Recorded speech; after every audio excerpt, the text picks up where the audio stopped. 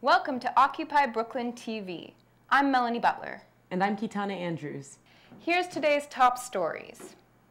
In New York, Occupy's army of musicians is attacked by Mayor Bloomberg's private army of police. The rent strike in Sunset Park continues, as does the Con Ed lockout. We'll look at the fight against fracking around the nation, and looking around the world, we'll report on the anti-nuclear movement in Japan, the miners' struggle in Spain, and growing unrest in Mexico. NBC New York reported earlier this week that the New York Police Department had linked evidence in the 2004 unsolved murder of Juilliard student Sarah Fox to an Occupy Wall Street protester, reporting that the evidence, quote, seemed to come out of nowhere, end quote. Indeed. Later that afternoon, the New York Times was already debunking its own article on the story, reporting that the link was most likely an error, with the DNA in question belonging to an NYPD lab technician who handled evidence from both cases. Police had taken DNA evidence from a chain at the scene of a March 28th action that saw activists chain open subway gates, providing free admission to the subway that morning.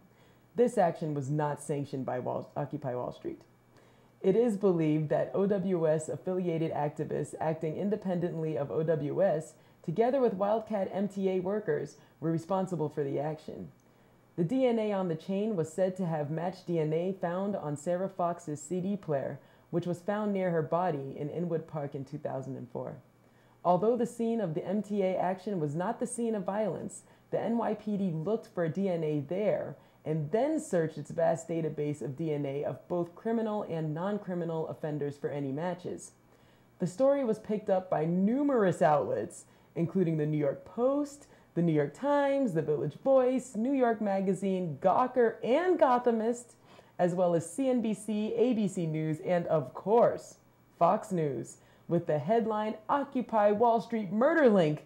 In its retraction, the New York Times wrote that, quote, the decision by investigators to search for DNA samples on the chain, which was used to hold open a subway entrance gate, illustrates how such collections have become a routine part of a wide range of criminal investigations. End quote. The statement ignores established knowledge about the use of DNA in criminal justice. While DNA can be a particularly powerful identification tool, it is only a piece of evidence and should be weighed with the context of the case in mind.